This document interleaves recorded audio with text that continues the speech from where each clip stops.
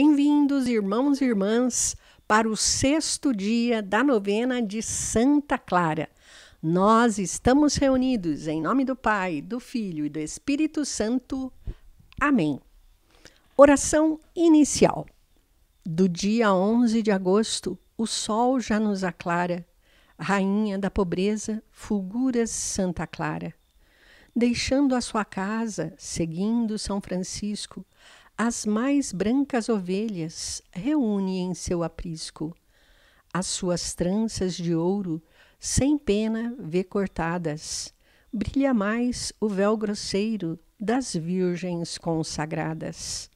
Na mesa do convento, Francisco e Clara ceiam, mas súbito, entre chamas, em êxtase se alteiam. Algum tempo após Francisco, a flor tomba da haste, dizendo: Eu te agradeço, ó Deus, que me criastes. Ao Deus que é unitrino, um só louvor é dado. Bendito seja ele, por Santa Clara haver criado. Reflexão.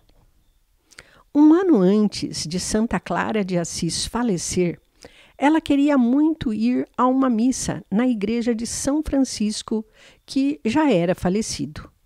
Não tendo condições de ir por estar doente, ela entrou em oração e conseguiu assistir toda a missa de sua cama em seu quarto no convento.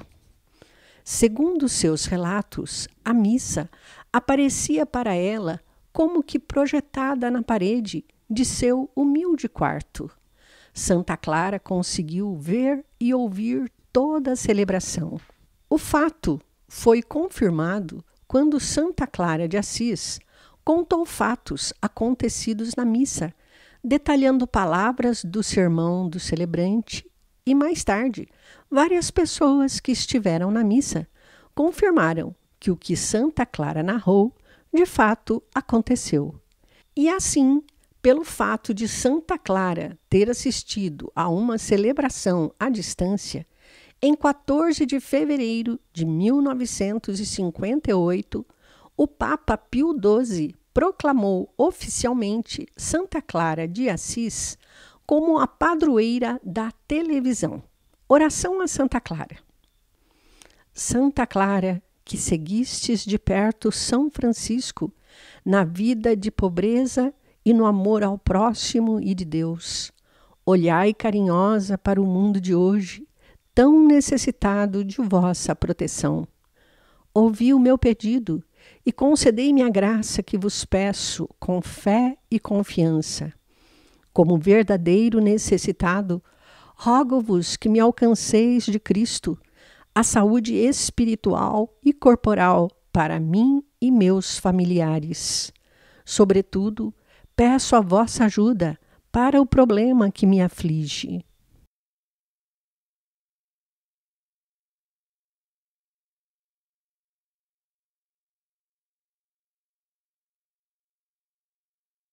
Atendei-me, Santa Clara, pela força que tendes junto a Deus e pela fé que me faz buscar a vossa proteção. Amém. Pai nosso que estais no céu, santificado seja o vosso nome. Venha a nós o vosso reino, seja feita a vossa vontade, assim na terra como no céu. O pão nosso de cada dia nos dai hoje Perdoai as nossas ofensas, assim como nós perdoamos a quem nos tem ofendido. E não nos deixeis cair em tentação, mas livrai-nos do mal. Amém. Ave Maria, cheia de graça, o Senhor é convosco. Bendita sois vós entre as mulheres, bendito é o fruto do vosso ventre, Jesus. Santa Maria, Mãe de Deus, rogai por nós, pecadores, agora e na hora de nossa morte. Amém. Glória ao Pai, ao Filho e ao Espírito Santo, como era no princípio, agora e sempre. Amém. Oração final.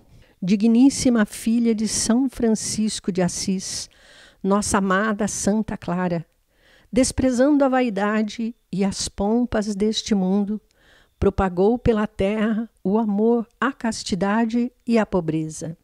esposa virgem de Cristo, em casto amor uniu-se a ele e para o Cristo gerou multidões de filhas.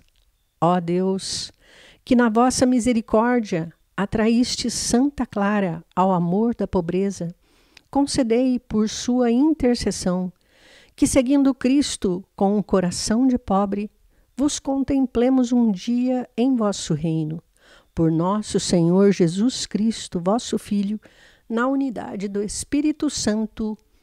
Amém. Muito bem, eu espero vocês amanhã para o nosso sétimo dia da novena de Santa Clara. Nós estivemos reunidos em nome do Pai, do Filho e do Espírito Santo. Amém.